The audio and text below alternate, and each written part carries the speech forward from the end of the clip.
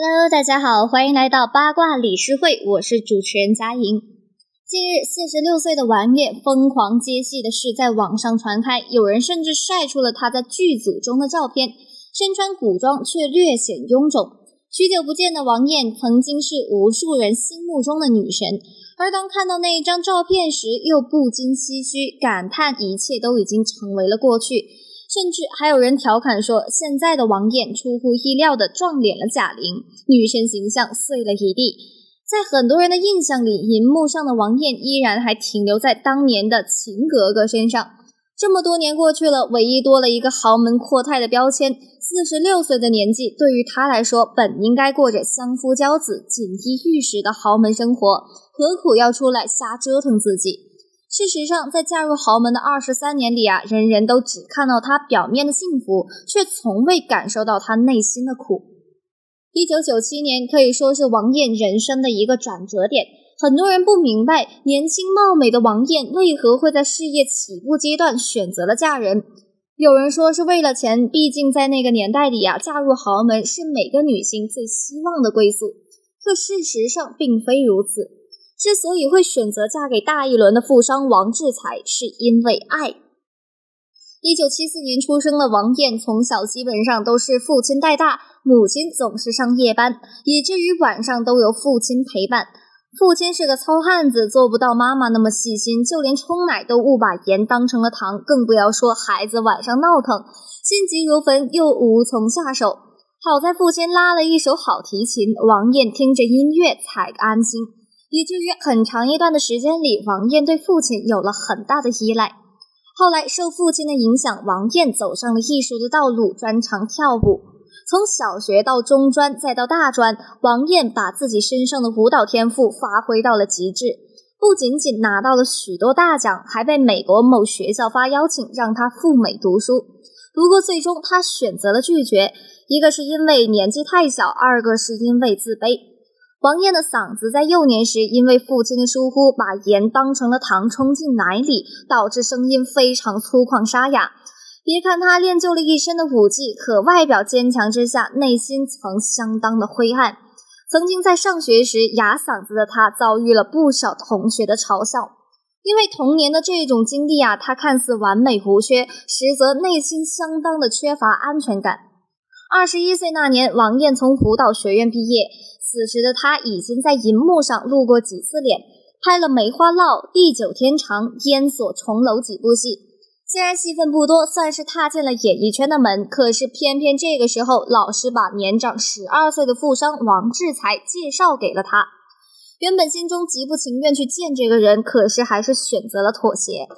第一次见王志才，相当的尴尬，和很多人相亲一样，没有话题可聊。到最后分开时，彼此都没有留联系的方式。原本以为就这样结束了，可是没有想到王艳的一次生病，让王志才才出现在了他的面前。原来这一切又是他老师偷偷报信了。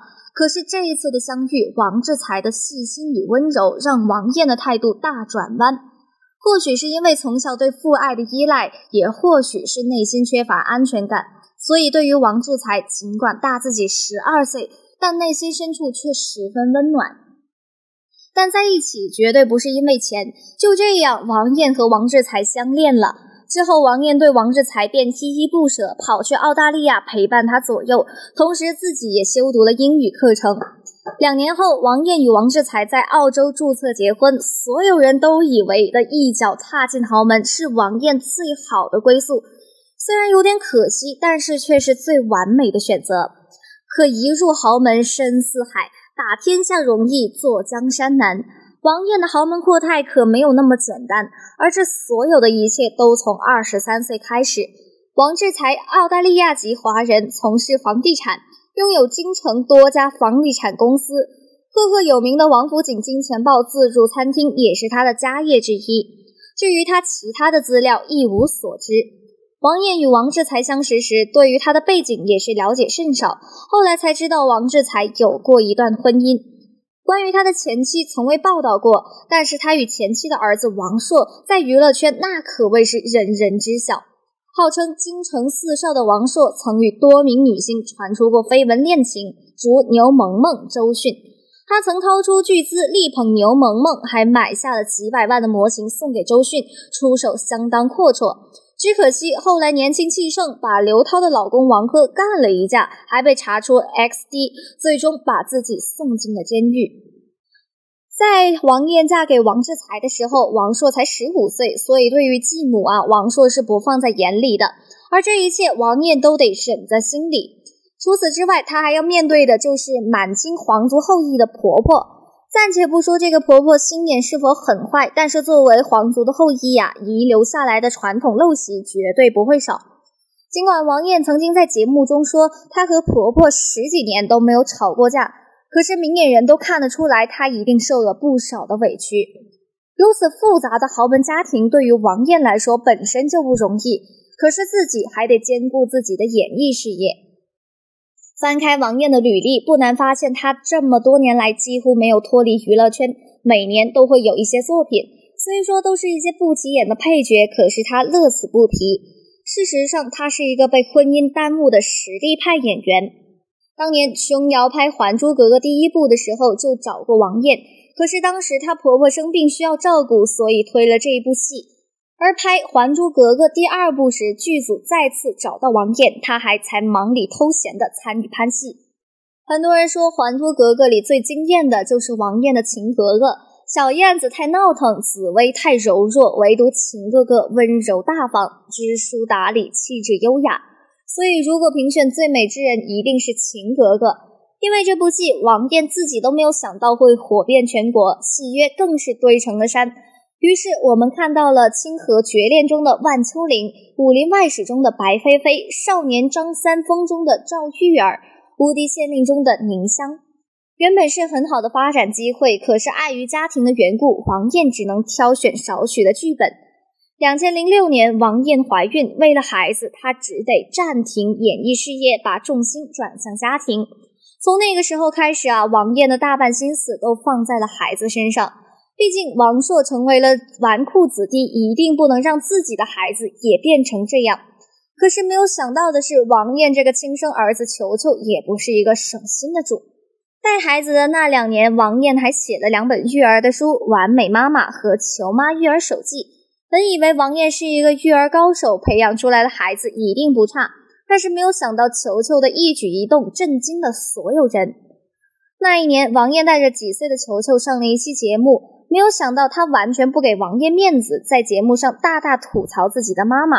他说：“如果王艳摔倒，自己绝对不会扶她起来；相反，如果王志才摔倒，他一定会赶着去扶。”他还说：“爸爸一次给他几万块的零花钱，王艳给的只有一两千。”不仅如此，他还吐槽王艳花钱如流水，语气充满了不屑。最让人惊讶的是，球球当面还骂王艳：“你这个猪头！”如果说是别家的孩子，巴掌早就打到这个小屁孩的屁股上了，但是从未想过这居然会是王艳的儿子。常说子不教，父之过，很难想象把孩子培养成小霸王的王艳是如何写出两本育儿书的。有一个网友曾经说过一段非常有道理的话：找对象一定不要看他是否有钱，而是要看他和亲戚的品行。若因为基因决定的一切。虽说有些片面，但是也不无道理。坏孩子的家族里呀，一般都不止一个。基因决定了下一代的性格，王朔如此，球球亦是如此。好在童言无忌，这么多年过去了，在王艳的耐心指导下，球球的性格改善很大，也变得懂事许多。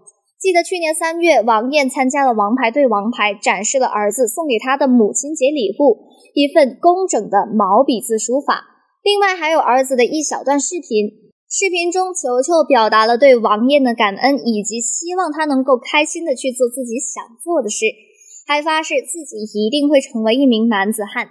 当看完后，王艳一度情绪失控，流下了感动的泪水。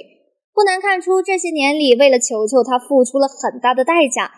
很多人说，像王艳这样的豪门阔太根本就不用拼命拍戏，简直就是找罪受。王志才在北京的豪宅王府世纪开门就是紫禁城，价值上亿，这一点他都不需要自己努力。当年这一座豪宅曝光时，网友们纷纷发出感慨：天哪，王艳家就在紫禁城旁边，那英的东山别墅和王艳的一比，简直是茅草房啊！可是这么多年来，王艳一直都没有放弃过演艺事业。她曾说自己如此努力，是希望给孩子树立榜样。即便是没有王子才的依靠，她依然可以养活自己。所以，四十六岁的王艳虽然美人迟暮，可是内心那一颗拼搏的心还未曾老去。